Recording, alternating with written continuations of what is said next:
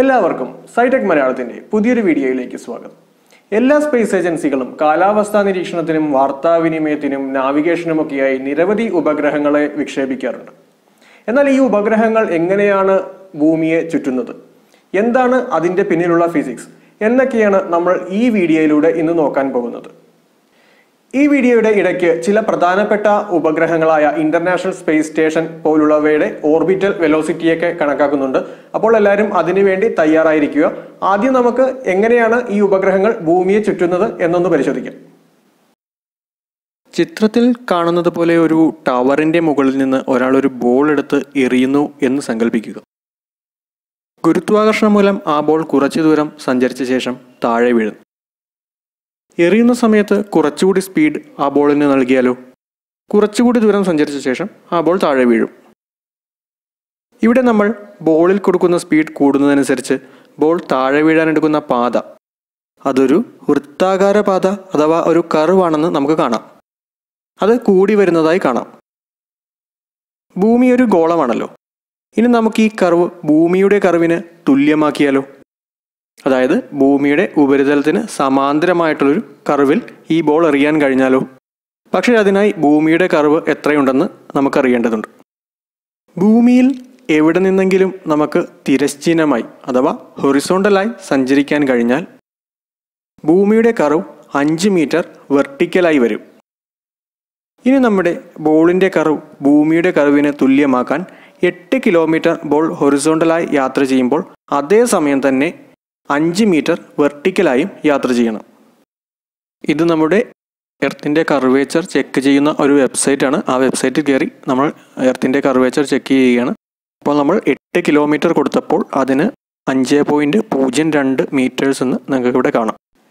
ഈ രീതിയിൽ ഈ ബോൾ ഭൂമിയുടെ കർവേച്ചറിന് സമാന്തരമായ ഒരു പാതയിൽ ഒരു പ്രത്യേക സ്പീഡിൽ ഒരു പ്രത്യേക വെലോസിറ്റിയിൽ എറിയാൻ കഴിഞ്ഞാൽ ആ പാതയിൽ തന്നെ ഈ ബോൾ ഭൂമിയെ ചുറ്റാൻ ആരംഭിക്കും. അത് എങ്ങനെയാണെന്ന് നോക്കുന്നതിന് വേണ്ടി നമുക്ക് തൽക്കാലത്തേക്ക് ഈ ബോൾ മാറ്റി നമുക്ക് യഥാർത്ഥത്തിലുള്ള സാറ്റലൈറ്റിനെ തന്നെ കൊണ്ടുവരാം. ഈ സാറ്റലൈറ്റ് നമ്മളിവിടെ ഒരു റോക്കറ്റിന്റെ സഹായത്തോടുകൂടി വിക്ഷേപിക്കുകയാണ്. ഈ റോക്കറ്റ് ഭൂമിയുടെ ഉപരിതലത്തിന് സമാന്തരമായ ഒരു പാതയിൽ എത്തിയ ശേഷം ഈ ഉപഗ്രഹത്തെ അവിടെ വിടുന്നു.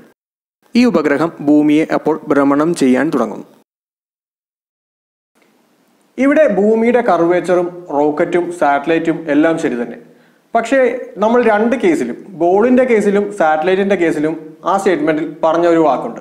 ഒരു പ്രത്യേക സ്പീഡിൽ എറിയുമ്പോൾ അല്ലെങ്കിൽ ഒരു പ്രത്യേക വെലോസിറ്റിയിൽ എറിയുമ്പോൾ. എന്താണത്? ആ വെലോസിറ്റി അല്ലെങ്കിൽ ആ സ്പീഡാണ് ഓർബിറ്റൽ വെലോസിറ്റി എന്ന് പറയുന്നത്.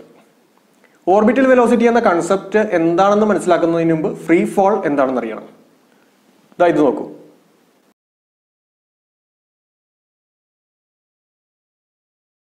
ഇങ്ങനെ വേറൊരു ബലത്തിന്റെ സ്വാധീനമല്ലാതെ ഭൂമിയുടെ ഗ്രാവിറ്റേഷന്റെ ഫലമായി ഒരു വസ്തു താഴത്തേക്ക് പതിക്കുന്നതിനാണ് ഫ്രീ ഫോൾ എന്ന് നമ്മൾ വിളിക്കുന്നത്.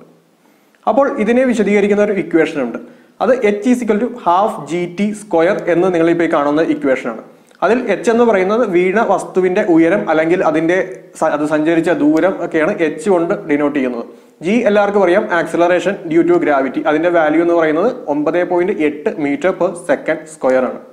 അതുപോലെ തന്നെ ടി ടി ഇ എച്ച് എന്ന ദൂരം കവർ ചെയ്യാനെടുത്ത സമയത്തെയാണ് ടി എന്ന അക്ഷരം കൊണ്ട് അവിടെ സൂചിപ്പിക്കുന്നത്.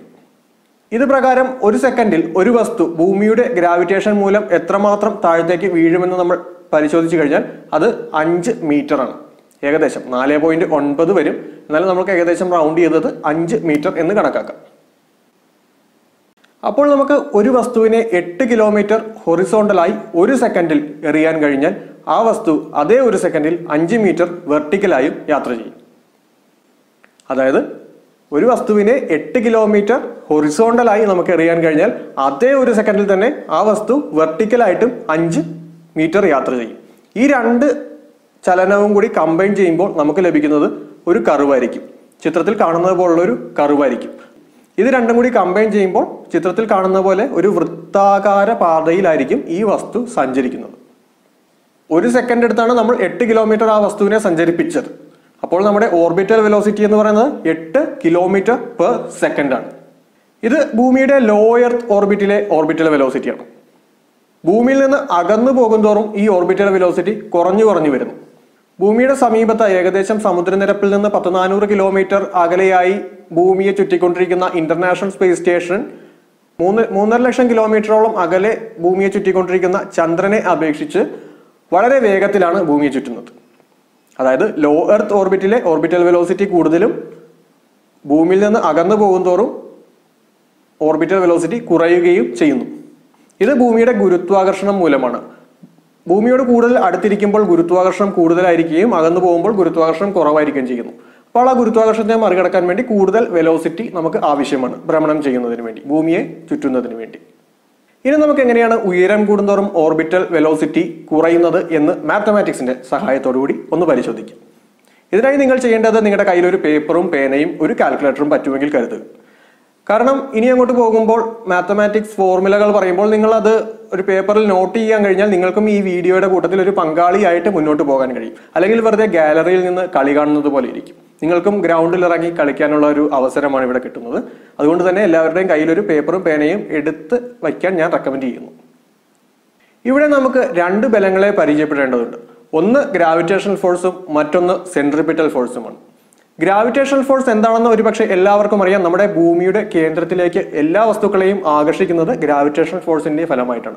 എന്നാൽ ന്യൂട്ടൺ ഇതിന് വളരെ വ്യക്തമായ ഒരു വിശദീകരണം നൽകിയിട്ടുണ്ട്. ഈ പ്രപഞ്ചത്തിലുള്ള എല്ലാ വസ്തുക്കളും പരസ്പരം ആകർഷിക്കുന്നുണ്ട്. ഇവയുടെ ആകർഷണ ബലം എന്ന് പറയുന്നത് ഈ വസ്തുക്കളുടെ മാസിന്റെ ഗുണനഫലത്തിന് അഥവാ പ്രോഡക്റ്റിന് നേർ അനുപാതത്തിലും ഇവ തമ്മിലുള്ള ദൂരത്തിന്റെ വർഗത്തിന് അതായത് ഇവ തമ്മിലുള്ള ദൂരത്തിന്റെ സ്ക്വയറിന് വിപരീത അനുപാതത്തിലും ആയിരിക്കും. അത് പ്രകാരം നമുക്കിവിടെ ഒരു ഇക്വേഷൻ നമുക്കതിനു വേണ്ടി ആ ഗ്രാവിറ്റേഷണൽ ഫോഴ്സിനെ വിശദീകരിക്കുന്നതിന് വേണ്ടി ഒരു ഇക്വേഷൻ നമുക്ക് ഇവിടെ കാണാം. നമുക്ക് ഈ ഇക്വേഷനിലുള്ള അനുപാത ചിഹ്നം മാറ്റുന്നതിന് വേണ്ടി ജി എന്ന് പറഞ്ഞ ഒരു കോൺസ്റ്റന്റ് ഉപയോഗിച്ച് അതിനെ മൾട്ടിപ്ലൈ ചെയ്താൽ മതിയാവും ജി എന്ന് പറഞ്ഞ കോൺസ്റ്റന്റിന്റെ value six point six seven into ten to the power minus eleven newton metre square per kilogram square എന്നാണ്. അതുപോലെ തന്നെ ഇനി സെൻട്രൽ പെറ്റൽ ഫോഴ്സ് എന്താണെന്ന് വെച്ച് കഴിഞ്ഞാൽ ഏതൊരു കേന്ദ്രത്തെ ചുറ്റിക്കറങ്ങുന്ന ഒരു വസ്തുവിനും അനുഭവപ്പെടുന്ന ഒരു ബലമാണ് സെൻട്രൽ പെറ്റൽ ഫോഴ്സ് എം മാസുള്ള ഒരു വസ്തു വി വെലോസിറ്റിയിൽ ആർ ആരമുള്ള ഒരു വൃത്തത്തെ ചുറ്റാൻ ആവശ്യമായ ബലത്തെയാണ് നമ്മൾ സെൻട്രിപിറ്റൽ ഫോഴ്സ് എന്ന് ഡിഫൈൻ ചെയ്യുന്നത്. ഈ ഒരു ഇക്വേഷനിലേക്ക് എത്താൻ വേണ്ടിയിട്ടാണ് ഇത്രയും വളച്ചു കെട്ടി പറഞ്ഞത്.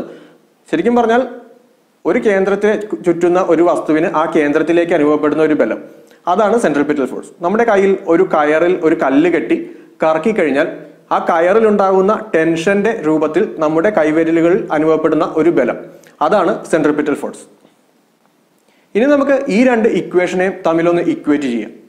ഇവിടെ നിങ്ങൾ ഇടതുവശത്ത് കാണുന്നത് ന്യൂട്ടന്റെ യൂണിവേഴ്സൽ ലോ ഓഫ് ഗ്രാവിറ്റേഷന്റെ ഇക്വേഷനാണ് വലതുവശത്ത് കാണുന്നത് സെൻട്രിപിറ്റൽ ഫോഴ്സിന്റെ ഇക്വേഷൻ നമ്മൾ മുൻപ് കണ്ട ഇക്വേഷനിൽ നിന്ന് ഇത് അല്പം വ്യത്യസ്തമായിരിക്കുന്നത് ഒരുപക്ഷെ നിങ്ങൾ ശ്രദ്ധിച്ചു കാണും.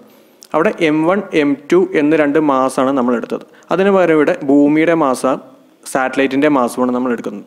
അതാണ് എമ്മും ബ്രാക്കറ്റിൽ ഇ കൊണ്ട് ഉദ്ദേശിച്ചിരിക്കുന്നത് ഭൂമിയുടെ മാസമാണ് അതുപോലെ തന്നെ എമ്മിന്റെ ബ്രാക്കറ്റിൽ എസ് ഇട്ടിരിക്കുന്നത് സാറ്റലൈറ്റിന്റെ മാസിനെ ഉദ്ദേശിച്ചാണ്. ഈ ഇക്വേഷൻ ഉപയോഗിച്ച് നമ്മൾ വി സ്ക്വയർ ഇവിടെ കണ്ടെത്തിയിരിക്കുകയാണ്. ഇവിടെ ഭൂമിയുടെ മാസ് മാത്രമാണ് അതിന്റെ വെലോസിറ്റിയെ സ്വാധീനിക്കുന്നതെന്ന് നമുക്ക് കാണാൻ കഴിയും. ഇന്റർനാഷണൽ സ്പേസ് സ്റ്റേഷന്റെ ഓർബിറ്റൽ വെലോസിറ്റി നമ്മളിവിടെ കാൽക്കുലേറ്റ് ചെയ്യാൻ പോവുകയാണ്. അതായത് ഇന്റർനാഷണൽ സ്പേസ് സ്റ്റേഷൻ ഭൂമിയെ ചുറ്റുന്ന വെലോസിറ്റി അതാണ് നമ്മളിവിടെ കാൽക്കുലേറ്റ് ചെയ്യാൻ പോകുന്നത്. ഇവിടെ നമ്മൾ മുൻപ് കണ്ടുപിടിച്ച ആ ഇക്വേഷൻ ഉപയോഗിച്ച് ആണ് നമ്മൾ ഇന്റർനാഷണൽ സ്പേസ് സ്റ്റേഷന്റെ ഓർബിറ്റൽ വെലോസിറ്റി കാൽക്കുലേറ്റ് ചെയ്യാൻ പോകുന്നത്. ഇവിടെ നമ്മുടെ ഭൂമിയുടെ മാസ് അഞ്ച് പോയിന്റ് ഒൻപത് എട്ട് into ten to the power twenty four kilogram ആണ്. അടുത്തതായി ആറ്. ആറെന്ന് എന്ന് പറഞ്ഞു കഴിഞ്ഞാൽ സാറ്റലൈറ്റും ഭൂമിയുമായിട്ടുള്ള ദൂരമാണ്. ഇവിടെ ഭൂമിയുടെ കേന്ദ്രത്തിൽ നിന്നുള്ള ദൂരമാണ് നമ്മൾ എടുക്കേണ്ടത്. സാധാരണയായി ഇന്റർനാഷണൽ സ്പേസ് സ്റ്റേഷൻ എത്ര ദൂരെയാണെന്നൊക്കെ നമ്മൾ വിക്കിപീഡിയ പേജിലൊക്കെ നോക്കിക്കഴിഞ്ഞാൽ അതിൽ കൊടുത്തിരിക്കുന്ന ദൂരം സീ ലെവലിൽ നിന്നുള്ളതാണ്. അപ്പോൾ ആ ദൂരത്തെ ഭൂമിയുടെ റേഡിയസ് കൊണ്ട് കൂട്ടുമ്പോൾ നമുക്ക് യഥാർത്ഥത്തിലുള്ള ഇന്റർനാഷണൽ സ്പേസ് സ്റ്റേഷനും ഭൂമിയുടെ കേന്ദ്രവുമായിട്ടുള്ള ദൂരം ലഭിക്കുന്നു. ഇന്റർനാഷണൽ സ്പേസ് സ്റ്റേഷൻ നാനൂറ്റി പത്ത് കിലോമീറ്റർ മുകളിലായിട്ടാണ് ഭൂമിയുടെ സീ ലെവൽ സമുദ്രനിരപ്പിൽ നിന്ന്. അപ്പോൾ അതിനെ ഭൂമിയുടെ റേഡിയസ് ആയ six point three seven into ten to the power six മീറ്ററുമായിട്ട് നമ്മൾ കൂട്ടുകയാണ്. നാനൂറ്റി പത്ത് കിലോമീറ്ററിനെ മീറ്ററിലേക്ക് മാറ്റാൻ വേണ്ടി ten to the power three കൊണ്ട് മൾട്ടിപ്ലൈ ചെയ്തിരിക്കുന്നു. അതുപോലെ തന്നെ ഗ്രാവിറ്റേഷൻ കോൺസ്റ്റന്റ് ഇവിടെ നൽകിയിട്ടുണ്ട് six point six seven into ten to the power minus eleven നമ്മൾ ഇതിനു മുൻപ് അതിനെപ്പറ്റി പറഞ്ഞിരുന്നു. അതുപ്രകാരം നമ്മളിവിടെ ഓർബിറ്റൽ വെലോസിറ്റി കാൽക്കുലേറ്റ് ചെയ്തിരിക്കുകയാണ്. ഇന്റർനാഷണൽ സ്പേസ് സ്റ്റേഷൻ ഭൂമിയെ ചുറ്റുന്നത് ഏഴായിരത്തി അറുന്നൂറ്റി എഴുപത് പോയിന്റ് പൂജ്യം അഞ്ച് മീറ്റർ പെർ സെക്കൻഡ് വേഗതയിലാണ്. അതായത് അതിനെ കിലോമീറ്റർ പെർ സെക്കൻഡിലേക്ക് മാറ്റുമ്പോഴത്തേക്കും ഏഴ് പോയിന്റ് ആറ് ഏഴ് കിലോമീറ്റർ പെർ സെക്കൻഡ് ഇനി നമുക്ക് ആ വാല്യൂ നമുക്ക് കിട്ടിയ വാല്യൂ ഒന്ന് ഇന്റർനാഷണൽ സ്പേസ് സ്റ്റേഷന്റെ വിക്കിപീഡിയ പേജിൽ പോയൊന്ന് ചെക്ക് ചെയ്യാം. ഇവിടെ ഇന്റർനാഷണൽ സ്പേസ് സ്റ്റേഷന്റെ ഓർബിറ്റൽ സ്പീഡ് കൊടുത്തിട്ടുണ്ട്. അത് ഏഴ് പോയിന്റ് ആറ് ആറ് കിലോമീറ്റർ പെർ സെക്കൻഡാണ് ചെറിയ പോയിന്റുകളുടെയൊക്കെ വ്യത്യാസം കാണും. കാരണം നമ്മൾ ഭൂമിയുടെ റേഡിയസും മാസും അതെല്ലാം കാൽക്കുലേറ്റ് ചെയ്യുമ്പോൾ നമ്മൾ റൗണ്ട് ചെയ്തെടുക്കുന്നതിന്റെ കുഴപ്പമാണ് നമ്മുടെ വാല്യൂവിൽ ചെറിയ ഇറർ വരുന്നത്. ഇനി നമുക്ക് നമ്മുടെ ഭൂമിയുടെ പ്രകൃതിദത്ത ഉപഗ്രഹമായ ചന്ദ്രന്റെ ഓർബിറ്റൽ വെലോസിറ്റി ഒന്ന് കണക്കാക്കി നോക്കാം. ചന്ദ്രൻ ഭൂമിയെ ചുറ്റുന്നത് ഒരു എലിപ്റ്റിക്കൽ ഓർബിറ്റിലൂടെയാണ്. അപ്പോൾ ചന്ദ്രൻ ഭൂമിയുമായുള്ള അകലം കൂടിയും കുറഞ്ഞും ഇരിക്കും അതിനെ നമ്മൾ അപ്പോജി എന്നും പെരിജി എന്നും യഥാക്രമം പറയാറുണ്ട്. അപ്പോൾ നമുക്ക് അപ്പോജിയിലെ ഓർബിറ്റൽ വെലോസിറ്റി ആദ്യം കാൽക്കുലേറ്റ് ചെയ്ത് നോക്കാം. അപ്പോജിയിൽ ആയിരിക്കുമ്പോൾ ചന്ദ്രൻ ഭൂമിയുമായി നാല് ലക്ഷത്തി അയ്യായിരത്തി നാനൂറ് കിലോമീറ്റർ അകലെയായിരിക്കും. ഇവിടെ ആറെന്ന് പറയുന്നത് ഭൂമിയും ചന്ദ്രനുമായിട്ടുള്ള ദൂരം തന്നെയാണ്. അത് ഭൂമിയുടെ കേന്ദ്രത്തിൽ നിന്നുള്ള ദൂരം തന്നെയാണ് ഇവിടെ കൊടുത്തിരിക്കുന്നത്. അതിനെ നമ്മൾ കിലോമീറ്ററിൽ നിന്ന് മീറ്ററിലേക്ക് മാറ്റിയാൽ മാത്രം മതി. അത് പ്രകാരം നമ്മൾ കാൽക്കുലേറ്റ് ചെയ്യുമ്പോൾ ഇവിടെ ലഭിക്കുന്നത് zero point nine nine one nine kilometre per second ആണ്. പിന്നെ മുൻപ് ഒരു കാര്യം പറയാൻ വിട്ടുപോയത് എന്തെന്ന് വെച്ചാൽ നമ്മളിവിടെ കണ്ടുപിടിച്ചത് വി സ്ക്വയർ ആണ്. അത് വിയിലേക്ക് മാറ്റുമ്പോൾ അതിന്റെ സ്ക്വയർ റൂട്ട് എടുക്കണം. ഇന്റർനാഷണൽ സ്പേസ് സ്റ്റേഷന്റെ കാൽക്കുലേഷനിൽ അതേപറ്റി കാണിച്ചിരുന്നില്ല. അതുകൊണ്ടാണ് എടുത്തു പറയുന്നത്. ഇനി നമുക്ക് പെരിജിയിൽ ചന്ദ്രന്റെ വെലോസിറ്റി കാൽക്കുലേറ്റ് ചെയ്യാം. പെരിജിയിലായിരിക്കുമ്പോൾ ചന്ദ്രൻ ഭൂമിയിൽ നിന്ന് മൂന്ന് ലക്ഷത്തി അറുപത്തിരണ്ടായിരത്തി അറുന്നൂറ് കിലോമീറ്റർ അകലെയായിരിക്കും. നമ്മളപ്പോൾ ആ ദൂരത്തെ മീറ്ററിലേക്ക് മാറ്റിയ ശേഷം നമ്മുടെ ഇക്വേഷനിലേക്ക് അപ്ലൈ ചെയ്യുമ്പോൾ നമുക്ക് കിട്ടുന്ന ഉത്തരം ഒന്ന് പോയിന്റ് പൂജ്യം നാല് എട്ട് എട്ട് ഒന്ന് കിലോമീറ്റർ പെർ സെക്കൻഡ് എന്നാണ്. നമ്മളിവിടെ ചന്ദ്രന് കിട്ടിയ രണ്ട് വാല്യൂ നമ്മൾ വിക്കിപീഡിയ പേജിൽ ചെന്ന് ചന്ദ്രനെ പറ്റിയുള്ള വിക്കിപീഡിയ പേജിൽ ചെന്ന് ചെക്ക് ചെയ്യുമ്പോൾ അവിടെ കാണുന്ന വെലോസിറ്റി എന്ന് പറയുന്നത് ഒന്ന് പോയിന്റ് പൂജ്യം രണ്ട് രണ്ട് കിലോമീറ്റർ പെർ സെക്കൻഡാണ് അപ്പോൾ നമുക്ക് കിട്ടിയ വാല്യൂ ആയിട്ട് ചെറിയ വ്യത്യാസമുണ്ട് അത്. എന്താണെന്ന് നോക്കുമ്പോഴത്തേക്കും ഈ രണ്ട് വാല്യൂ അതായത് അപ്പോജിയിലുള്ള ഓർബിറ്റൽ വെലോസിറ്റിയുടെയും പെരിജിയിലുള്ള ഓർബിറ്റൽ വെലോസിറ്റിയുടെയും ആവറേജ് ആണ് അവിടെ കൊടുത്തിരിക്കുന്നത്. അതെടുക്കുമ്പോഴത്തേക്കും നമ്മുടെ വാല്യൂ തമ്മിൽ കൂട്ടുമ്പോൾ ഒന്നേ പോയിന്റ് പൂജ്യം രണ്ട് നമുക്ക് കിട്ടുന്നുണ്ട്. അപ്പോൾ നമ്മൾ ഇതിൽ നിന്ന് മനസ്സിലാക്കേണ്ടത് ചന്ദ്രൻ അപ്പോജിയിലായിരിക്കുമ്പോഴും പെരിജിയിലായിരിക്കുമ്പോഴും രണ്ട് വേഗതയിലാണ് ഭൂമിയെ ചുറ്റുന്നത്. നിങ്ങൾ ഒരുപക്ഷെ ഭൂസ്ഥിര ഉപഗ്രഹങ്ങൾ എന്നൊക്കെ കേട്ട് കാണും. അതായത് കാലാവസ്ഥാ പഠനത്തിനായും പിന്നെ വാർത്താവിനിമയത്തിനായും ഒക്കെ വിക്ഷേപിക്കുന്ന ചില ഉപഗ്രഹങ്ങൾ. അതെല്ലാം ഭൂസ്ഥിര ഉപഗ്രഹങ്ങളാണ്. അഥവാ ജിയോ സ്റ്റേഷണറി സാറ്റലൈറ്റ്സ് ആണ്. ഇവ ഭൂമിയുടെ ഒരു പ്രത്യേക ഉയരത്തിൽ ഭൂമിയുടെ സമുദ്രനിരപ്പിൽ നിന്ന് ഒരു പ്രത്യേക ഉയരത്തിൽ സ്ഥിതി ചെയ്തുകൊണ്ട് ഇരുപത്തിനാല് മണിക്കൂർ കൊണ്ട് അതായത് ഭൂമി സ്വയം തിരിയാനെടുക്കുന്ന അതേ സമയം എടുത്തു തന്നെ ഭൂമിയെ ചുറ്റുന്ന ഉപഗ്രഹങ്ങളാണ്. അതുകൊണ്ട് തന്നെ ഇവയ്ക്ക് ഒരു പ്രത്യേക പ്രദേശത്തെ മാത്രം കേന്ദ്രീകരിച്ച് നിരീക്ഷണങ്ങൾ നടത്താൻ കഴിയും. കാലാവസ്ഥ പഠനത്തിനായിട്ടൊക്കെ ഇത് വളരെ ഉപകാരം ചെയ്യുന്ന ഒരു ഉപഗ്രഹമാണ്.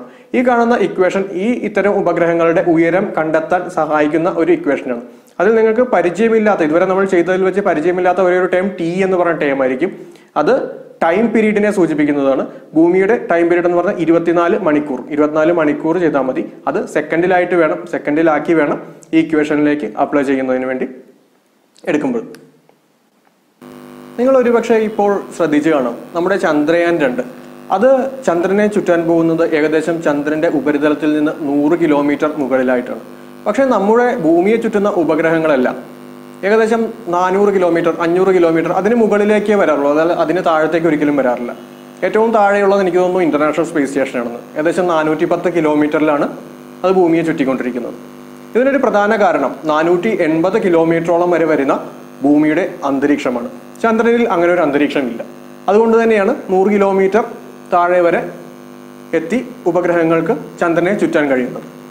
അപ്പോൾ നമ്മുടെ ഭൂമിയുടെ അന്തരീക്ഷം മൂലം ഉണ്ടാകുന്ന കർഷണം ഇതിന്റെ ഓർബിറ്റൽ വെലോസിറ്റി കുറയ്ക്കുകയും തൽഫലമായി ഉപഗ്രഹങ്ങൾ ഭൂമിയിലേക്ക് പതിക്കാൻ ഇടവരുകയും ചെയ്യുന്നു. അപ്പോൾ നമ്മുടെ ഇന്റർനാഷണൽ സ്പേസ് സ്റ്റേഷൻ നാനൂറ്റി പത്ത് കിലോമീറ്റർ മുകളിലൂടെയാണ് ഭൂമിയെ ചുറ്റുന്നത് എന്ന് നമ്മൾ പറഞ്ഞു. അപ്പോൾ അതിന് അറ്റ്മോസ്ഫിയറിന്റെ ഘർഷണം അല്ലെങ്കിൽ ഫ്രിക്ഷൻ ഉണ്ടാകുന്നില്ലേ എന്ന് നിങ്ങൾക്ക് ചോദിക്കാം. തീർച്ചയായിട്ടും ഉണ്ടാകുന്നുണ്ട്. അതിന്റെ ഫലമായി ഒരു ദിവസം തൊണ്ണൂറ് മീറ്ററോളം ഇന്റർനാഷണൽ സ്പേസ് സ്റ്റേഷൻ താഴേക്ക് വരുന്നുണ്ട്. ഇതിനെ ഓർബിറ്റൽ ഡി കെ എന്നൊക്കെയാണ് വിളിക്കുന്നത്. ഇതിനെ അഡ്ജസ്റ്റ് ചെയ്യാൻ വേണ്ടി അതിനകത്ത് തന്നെ ഇന്റർനാഷണൽ സ്പേസ് സ്റ്റേഷനിൽ തന്നെയുള്ള ട്രസ്റ്ററുകൾ ജ്വലിപ്പിച്ച് ഈ ഓർബിറ്റ് അഡ്ജസ്റ്റ് ചെയ്യാറുള്ള പ്രവർത്തനവും ഇന്റർനാഷണൽ സ്പേസ് സ്റ്റേഷനിൽ നടക്കാറുണ്ട്. അപ്പോൾ നമ്മൾ ഈ വീഡിയോയിൽ പറഞ്ഞത് നമുക്കൊന്ന് റിവൈൻഡ് ചെയ്യാം.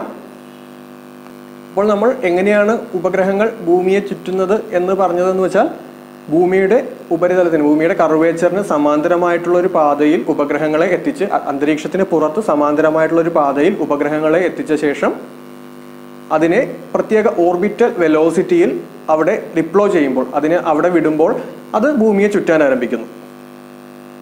അതുപോലെ തന്നെ ഈ ഓർബിറ്റൽ വെലോസിറ്റി ഇൻ കേസ് കൂടിപ്പോയി കഴിഞ്ഞാൽ നമ്മൾ ഉപഗ്രഹങ്ങളെ അവിടെ അവിടെ കൊണ്ട് വിടുമ്പോൾ ഈ ഓർബിറ്റൽ വെലോസിറ്റി കൂടിപ്പോയി കഴിഞ്ഞാൽ അത് ആ ഓർബിറ്റിൽ നിന്ന് തെന്നി മാറി സ്പേസിലേക്ക് ഔട്ടർ സ്പേസിലേക്ക് പോകാനുള്ള സാധ്യതയുണ്ട്. അതുപോലെ തന്നെ ഓർബിറ്റൽ വെലോസിറ്റി കുറഞ്ഞു പോയി കഴിഞ്ഞാൽ ഇത് നേരെ ഭൂമിയിലേക്ക് പതിക്കാനും സാധ്യതയുണ്ട്. അതുകൊണ്ട് തന്നെ ഈ ഉപഗ്രഹങ്ങളെ റോക്കറ്റിൽ എത്തിച്ച് അവിടെ ഡിപ്ലോയ് ചെയ്യുന്ന ആ ഒരു സമയം അത് വളരെ നിർണായകമായിട്ടുള്ള ഒരു സമയമാണ്. ഉപഗ്രഹ വിക്ഷേപണത്തിൽ. ഈ വീഡിയോ എല്ലാവർക്കും ഇഷ്ടമായി എന്ന് കരുതുന്നു. ഇതുപോലൊരു വീഡിയോ ഞാൻ ഇതിനു മുമ്പ് ഈ ചാനലിൽ ചെയ്തിട്ടില്ല. ഇത്തരം വീഡിയോകൾ നിങ്ങൾക്ക് ഇഷ്ടമാണെങ്കിൽ നിങ്ങൾ നിങ്ങളുടെ അഭിപ്രായങ്ങൾ കമന്റ് ചെയ്യുക. തുടർന്നും ഇത്തരത്തിലുള്ള ശാസ്ത്ര ഫിസിക്സ് സംബന്ധമായ വീഡിയോകൾ കാണുന്നതിനായി ഈ ചാനലൊന്ന് സബ്സ്ക്രൈബ് ചെയ്തേക്കുക. അപ്പോൾ മറ്റൊരു വീഡിയോയിലൂടെ കാണാം. Good bye